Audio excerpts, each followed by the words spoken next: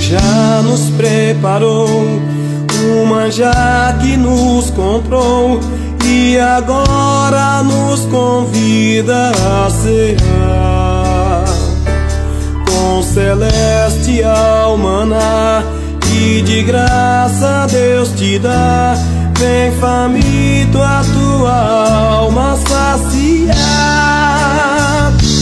Vem